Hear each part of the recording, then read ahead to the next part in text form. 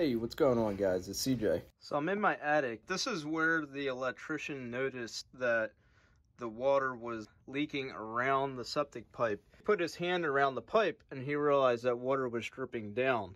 So what he said is that the rubber seal at the top is probably cracked or deteriorated. So uh, it's not a plumbing issue. It's just the fact that at the top of the roof, the seal needs to be replaced or needs to be fixed.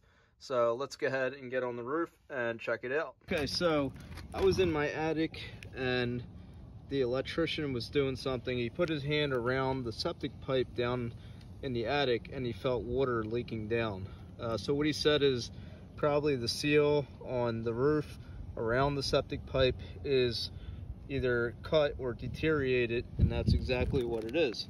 All right, so what I'm going to do here is I'm going to actually patch this, but I'm not going to pull this up because there's really no reason to. Uh, as you can see, it's cracked. You know, it's dried rot around here. So what I did is I bought a rubber boot from Home Depot. It was like $23. What's kind of cool about this is that you can cut it down the size. So what you're going to need is this rubber boot, and then you're going to need Flex Seal or some kind of roofing caulk basically. This is Loctite polyurethane sealant, roof and flashing, chimneys, joints, and shingles. You need a caulk gun and some scissors to cut your rubber boot down the size and a ladder obviously tall enough to get you on your roof. So let's go ahead and place this on top and just see what it will look like. So I'm not replacing this. I'm just going to be placing a new one over top, which is going to cover the crack and the dry rotting underneath and it will stop the water from going around it down into the attic into the floor ceiling of the bathroom. All right so feels like i'm gonna have to cut it down to here. I'm gonna start here first and then we'll see what it looks like. Okay so i cut my boot down the size and then i got my sealant caulk.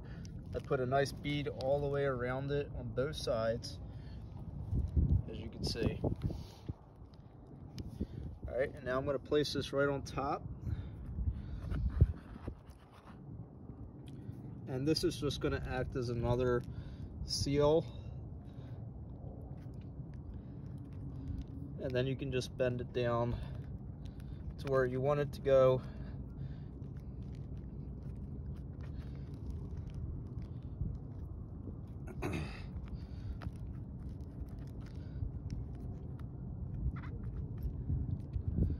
And then I'm gonna go ahead and caulk around it again.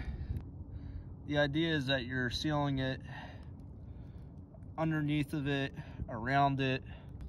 I'm probably just gonna use all the Loctite caulking just because I don't really need this anymore and I'm just gonna use it all up. This way there is no more issues and I might even just put a nice bead under here just to seal this to the roof. It's not gonna hurt anything. It's almost like using a tar, honestly. It's just, it's not as strong as tar, but it's pretty close. It's gonna rain really bad, possibly snow the next few days, so I really wanted to get this done. Now water can go down inside the septic pipe, there's nothing wrong with that.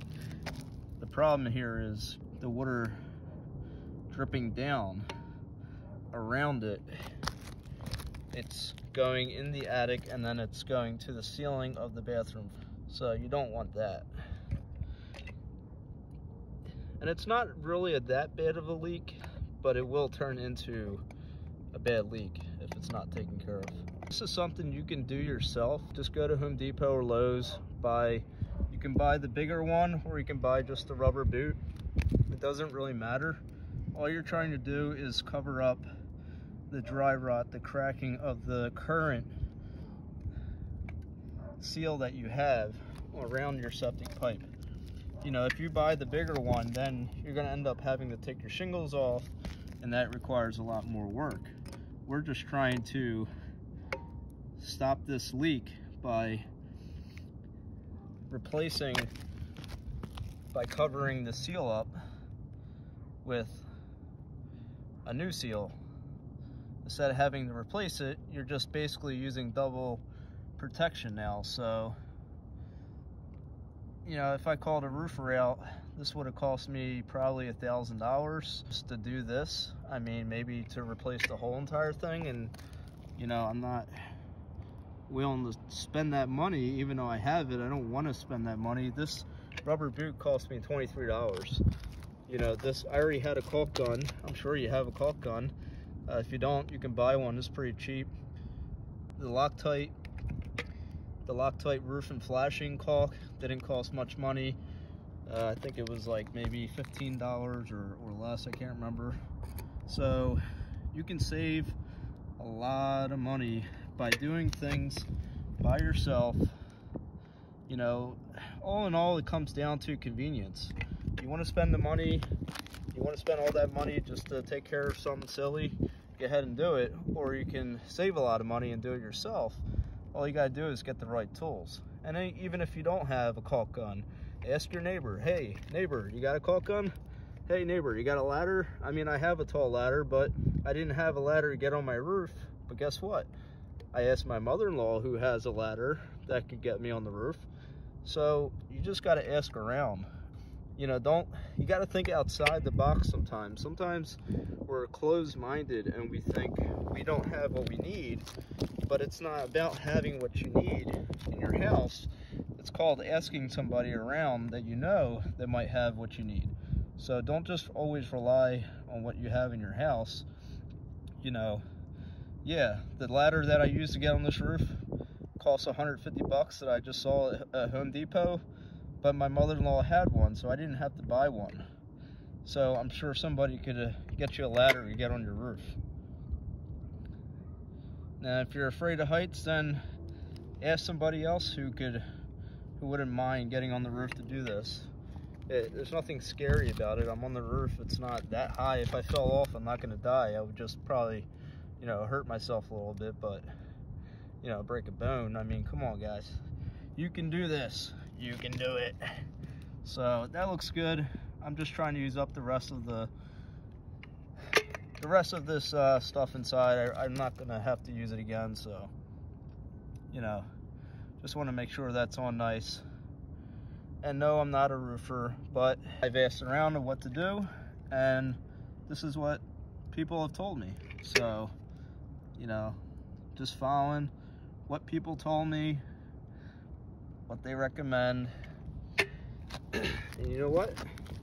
I did it, and it's not gonna leak anymore and I'm not paying money for a roofer. Now, if it's gonna require shingles being replaced, then yeah, I'm probably gonna call a roofer, so, but that's not the case. All I'm gonna do is just swipe it up, swipe it, I'm gonna swipe it, swipe it all around like a volcano tar in a volcano. You know? Yeah. Yes, yes. All right. Nice, smooth. Hell yeah, look at that. Oh yeah, it's like ice cream. Look at that, it's like a chocolate. Nice dark chocolate seal.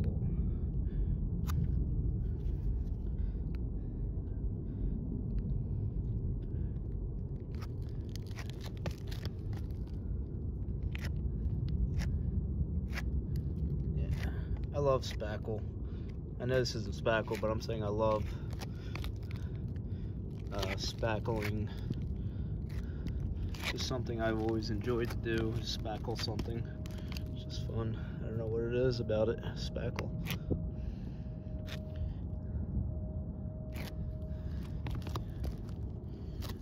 She's looking good. I mean, she's not gonna, she's definitely not going anywhere, I can tell you that much. And if she does go somewhere, then we got a problem. We got a problem, man. But you know what? She's not going nowheres. No, she's not. No, she ain't. She ain't going nowheres. Okay? Yep. She ain't going nowheres. Not at CJ's house. she can go nowheres. And that looks good. So there we go. No more leaks. And that's it.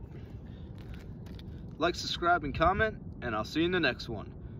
Peace!